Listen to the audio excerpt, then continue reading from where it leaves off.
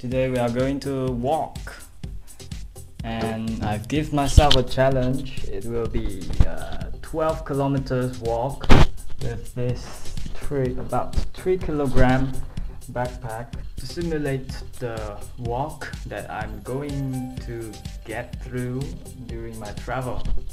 Right, there, this is what I'm going to use to track my walk about 12 kilometers. Have this raincoat in case it rained very heavily and start. And now it's 3.18 p.m. As you can see, I wear my Crocs. Yeah, I've worn it in Vietnam for five days and it took care of me very well whether it's rain or shine.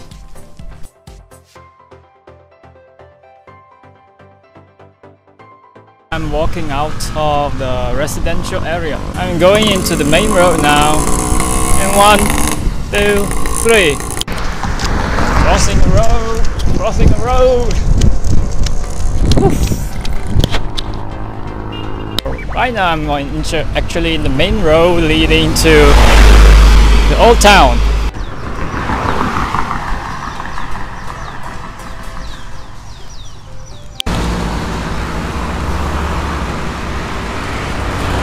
Only bad thing is that sand gets into this kind of shoe whenever you walk. But apart from that it's okay. Uh, actually I can take this shortcut but I can walk for more kilometers if I don't take this shortcut. So no not for me today.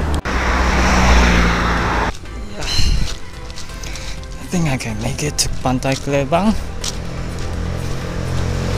hopefully to the old town. And we are about to reach uh, junction. It's right there. Okay. And I'm going to turn left. See, it is getting cloudier and cloudier. More and more clouds are covering the sun. So, good weather to walk.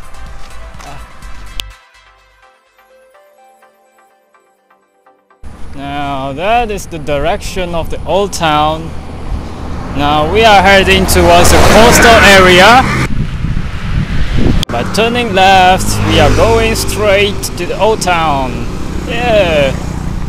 The good news is we have done two-thirds of the journey. The bad news is we still have 10 kilometers to cover, which I think is more than enough for me. I still have one and a half hour. Take five.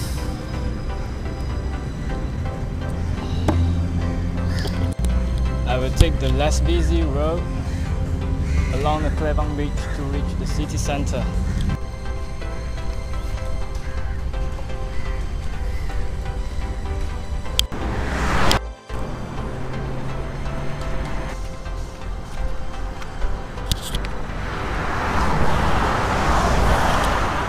I look tired?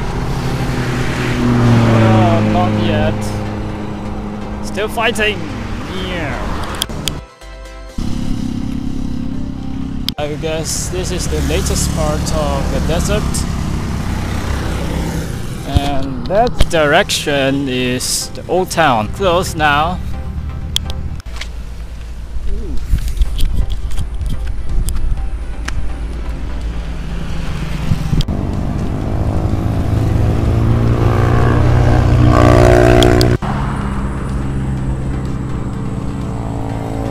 15 kilometers so far. Yep.